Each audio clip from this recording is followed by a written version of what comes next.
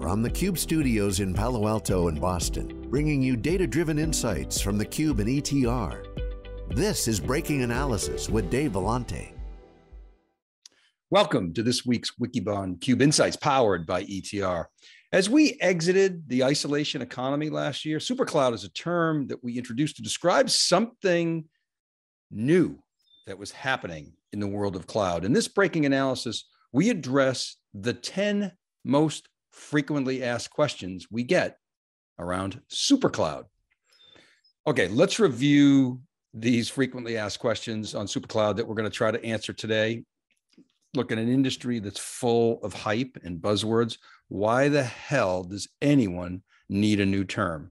Aren't hyperscalers building out superclouds? We'll try to answer why the term supercloud connotes something different from hyperscale clouds, and we'll talk about the problems that superclouds solve specifically. And we'll further define the critical aspects of a supercloud architecture. We often get asked, isn't this just multi cloud? Well, we don't think so, and we'll explain why in this breaking analysis. Now, in an earlier episode, we introduced the notion of super PaaS. Well, isn't a plain vanilla PaaS already a super PaaS? Again, we don't think so, and we'll explain why who will actually build and who are the players currently building superclouds? What workloads and services will run on superclouds? And 8A or number nine, what are some examples that we can share of supercloud? And finally, we'll answer what you can expect next from us on supercloud. Okay, let's get started. Why do we need another buzzword? Well, Late last year, ahead of reInvent, we were inspired by a post from Jerry Chen called Castles in the Cloud. Now, in that blog post, he introduced the idea that there were submarkets emerging in cloud that presented opportunities for investors and entrepreneurs. That the cloud wasn't going to suck, the hyperscalers weren't going to suck all the value out of the industry. And so we introduced this notion of supercloud to describe what we saw as a value layer emerging above the hyperscalers capex gift, we sometimes call it. Now, it turns out that we weren't the only ones using the term, as both Cornell and MIT have used the phrase in somewhat similar but different contexts. The point is, something new was happening in the AWS and other ecosystems. It was more than IaaS and PaaS and wasn't just SaaS running in the cloud. It was a new architecture that integrates infrastructure, platform, and software as services to solve new problems that the cloud vendors, in our view, weren't addressing by themselves. It seemed to us that the ecosystem was pursuing opportunities across clouds that went beyond conventional implementations of multi cloud. And we felt there was a structural change going on at the industry level that SuperCloud metaphorically was highlighting. So that's the background on why we felt a new catchphrase was warranted. Love it or hate it, it's memorable and it's what we chose. Now, to that last point about structural industry transformation, Andy Rappaport is sometimes and often credited with identifying the shift from the vertically integrated IBM mainframe era to the fragmented PC microprocessor based era in his HBR article in 1991. In fact, it was David Moschella, who at the time was an IDC analyst, who first introduced the concept in 1987, four years before Rappaport's article was published. Moschella saw that it was clear that Intel, Microsoft, Seagate, and others would replace the system vendors and put that forth in a graphic that looked similar to the first two on this chart. We don't have to review the shift from IBM as the center of the industry to Wintel. That's well understood. What isn't as well known or accepted is what Moschella put out in his 2018 book called Seeing Digital, which introduced the idea of the matrix that's shown on the right hand side of this chart. Moschella posited that new services were emerging built on top of the internet and hyperscale clouds that would integrate other innovations and would define the next era of computing. He used the term matrix because the conceptual depiction included not only horizontal technology rows like the cloud and the internet, but for the first time included connected industry verticals, the columns in this chart. Moschella pointed out that whereas historically industry verticals had a closed value chain or stack and ecosystem of r&d and production and manufacturing and distribution. And if, if you were in that industry the expertise within that vertical generally stayed within that vertical and was critical to success. But because of digital and data for the first time companies were able to traverse industries jump across industries and compete because data enabled them to do that. Examples amazon and content payments groceries, Apple and payments and content and so forth. There are many examples. Data was now this unifying enabler, and this marked a change in the structure of the technology landscape. And supercloud is meant to imply more than running in hyperscale clouds. Rather, it's the combination of multiple technologies enabled by cloud scale with new industry participants from those verticals financial services and healthcare, manufacturing, energy, media, and virtually all in any industry. Kind of an extension of every company is a software company.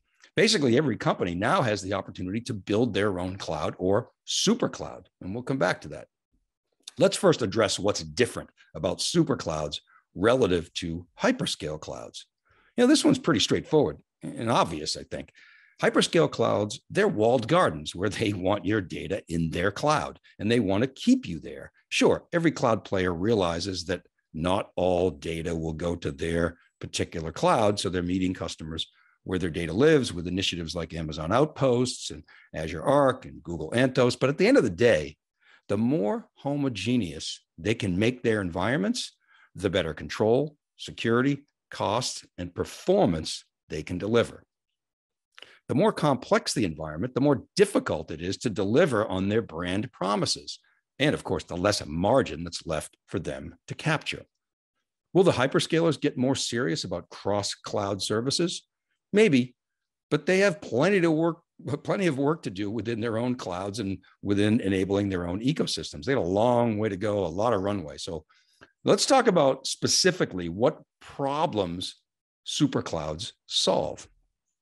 We've all seen the stats from IDC or Gartner or whomever that customers on average use more than one cloud, you know, two clouds, three clouds, five clouds, 20 clouds.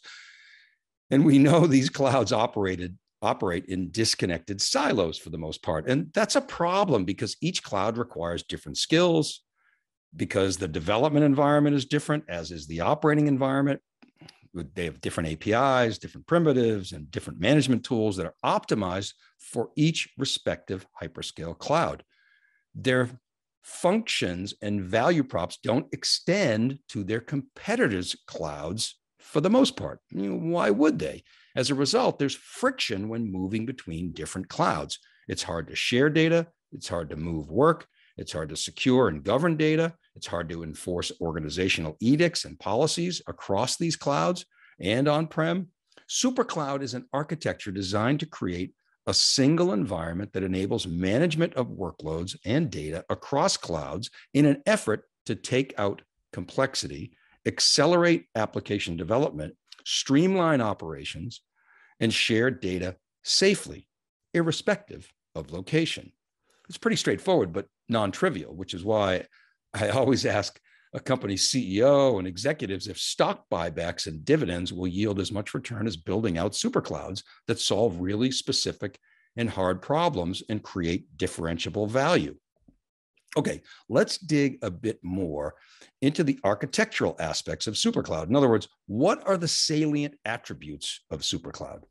So, first, and foremost, a supercloud runs a set of specific services designed to solve a unique problem, and it can do so in more than one cloud.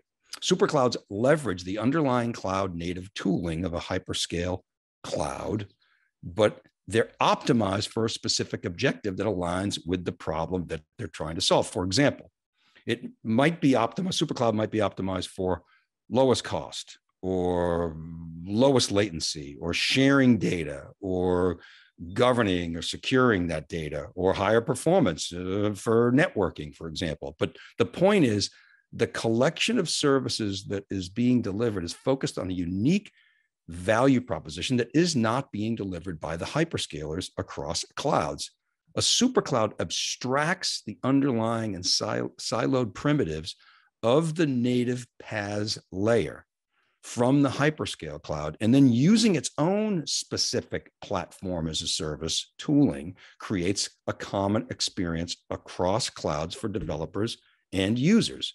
And it does so in a very in the most efficient manner meaning it has the metadata knowledge and management capabilities that can optimize for latency bandwidth or recovery or data sovereignty or whatever unique value that supercloud is delivering for the specific use case in their domain and a supercloud comprises a super PaaS capability that allows ecosystem partners through APIs to add incremental value on top of the supercloud platform to fill gaps accelerate features, and of course, innovate.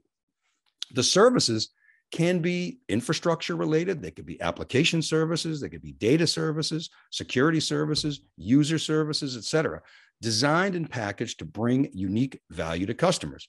Again, that hyperscalers are not delivering across clouds or on premises. Okay, so another common question we get is Isn't that just multi cloud? And what we'd say to that is, yeah, yes, but no. You, you can call it multi-cloud 2.0 if you want, if you want to use a kind of, kind of a commonly used rubric. But as Dell's Chuck Whitten proclaimed at Dell Technologies World this year, multi-cloud by design is different than multi-cloud by default, meaning to date, multi-cloud has largely been a symptom of what we've called multi-vendor or of M&A. You buy a company and they happen to use Google Cloud. And so you bring it in. And when you look at most so-called multi-cloud implementations, you see things like an on-prem stack, which is wrapped in a container and hosted on a specific cloud. Or increasingly, a technology vendor will do the, has done the work of building a cloud native version of their stack and running it on a specific cloud. But historically, it's been a unique experience within each cloud with virtually no connection bet- between the cloud silos. SuperCloud sets out to build incremental value across clouds and above hyperscale capex that goes beyond cloud compatibility within each cloud. So, if you want to call it multi-cloud 2.0, that's fine, but we chose to call it SuperCloud. Okay, so at this point, you may be asking, well, isn't PaaS already a version of SuperCloud? And again, we would say no, that SuperCloud and its corresponding Super PaaS layer, which is a prerequisite, gives the freedom to store, process, and manage and secure and connect islands of data across a continuum with a common experience across clouds. And the services offered are specific to that supercloud and will vary by each offering. You know, OpenShift, for example, can be used to construct a super PaaS, but in and of itself isn't a super PaaS. It's generic. A super PaaS might be developed to support, for example, for instance, ultra low latency database work.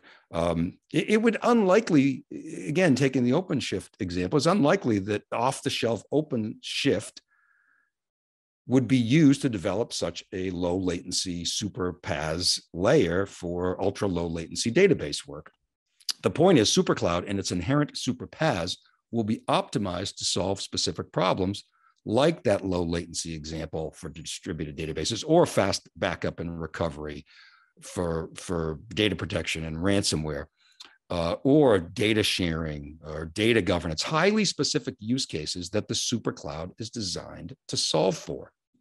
Okay, another question we often get is who has a super cloud today and who's building a super cloud and who are the contenders? Well, most companies that consider themselves cloud players will, we believe, be building or are building superclouds.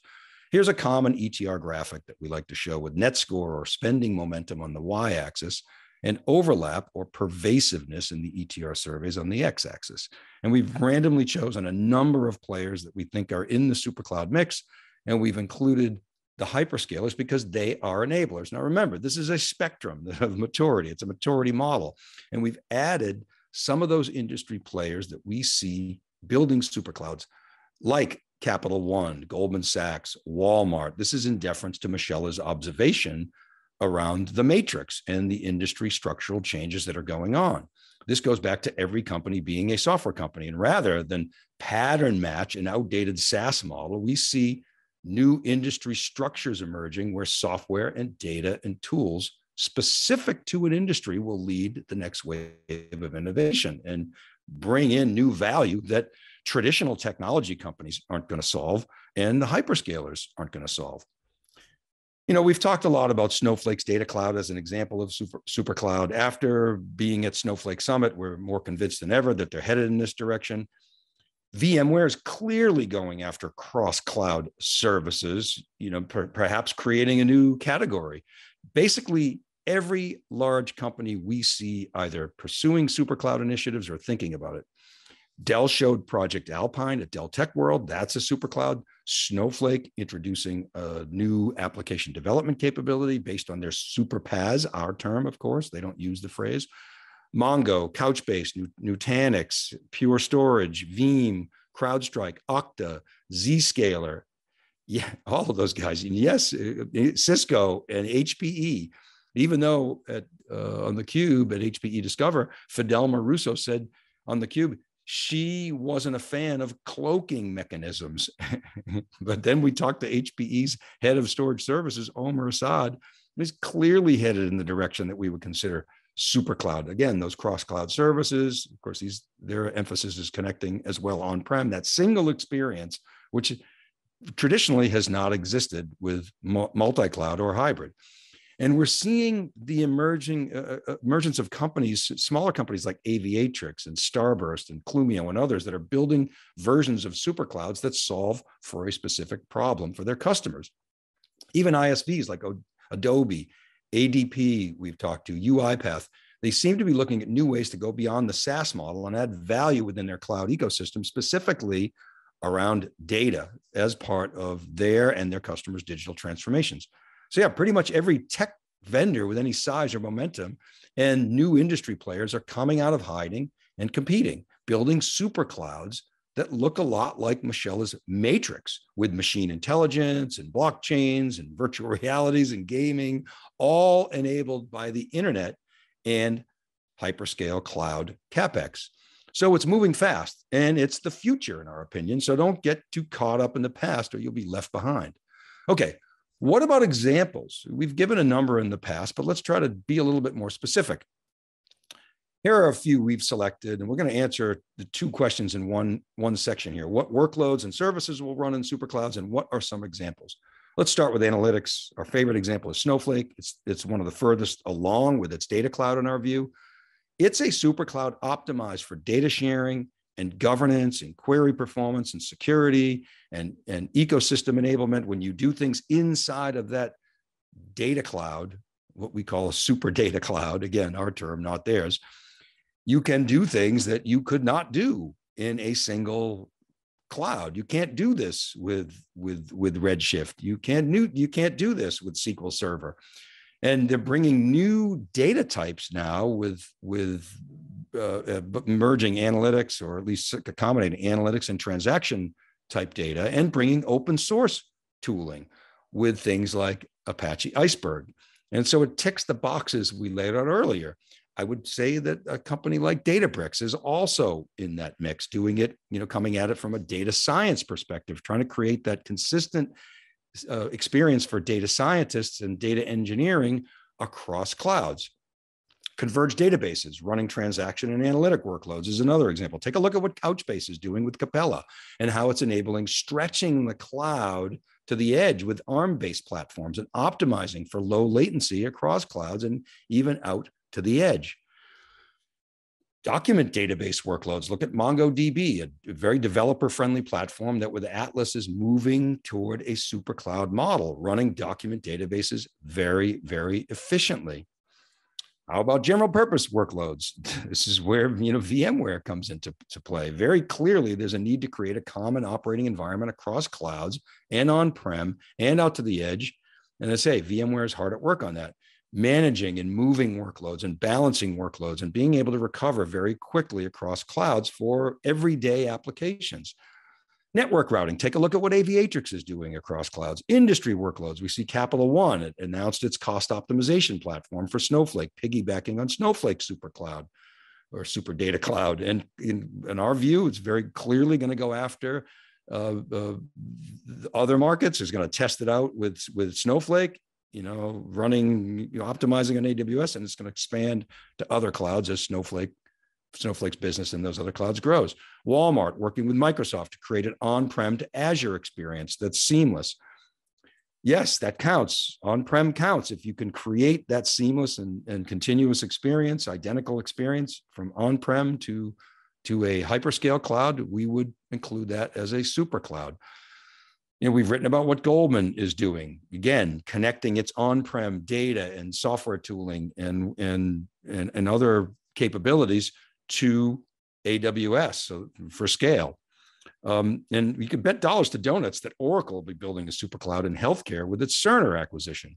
Super cloud is everywhere you look. So I'm sorry, naysayers, it's happening all around us. So what's next? Well, with all the industry buzz and debate about the future, John Furrier and I have decided to host an event in Palo Alto. We're motivated and inspired to further this conversation, and we welcome all points of view positive, you know, negative, multi cloud, super cloud, hyper cloud, all welcome. So the cube on SuperCloud is coming on August 9th out of our Palo Alto studios. We'll be running a live program on the topic. We've reached out to a number of industry participants VMware, Snowflake, Confluent, Sky High Security, Gee Rittenhouse's new company, HashiCorp, Cloudflare. We've hit up Red Hat, and we expect many of these folks will be in our studios on uh, August 9th. And we've invited a number of industry participants as well that we're excited to have on from industry, from financial services, from healthcare, from retail. We're inviting analysts, thought leaders, investors.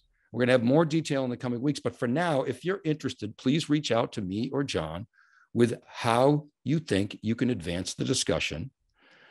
And we'll see if we can fit you in. So mark your calendars, stay tuned for more information. Okay, that's it for today. Thanks to Alex Myerson, who handles production and manages the podcast for Breaking Analysis. And I want to thank Kristen Martin and Cheryl Knight. They help get the word out on social and in our newsletters. And Rob Hof is our editor in chief over at SiliconANGLE, who does a lot of editing and appreciate you posting on SiliconANGLE, Rob. Thanks to all of you. Remember, all these episodes are available as podcasts wherever you listen. All you got to do is search Breaking Analysis Podcast. I publish each week on wikibon.com and siliconangle.com. Or you can email me directly at david.vellante at siliconangle.com or DM me at dvellante or comment on my LinkedIn posts. And please do check out etr.ai for the best survey data in the enterprise tech business.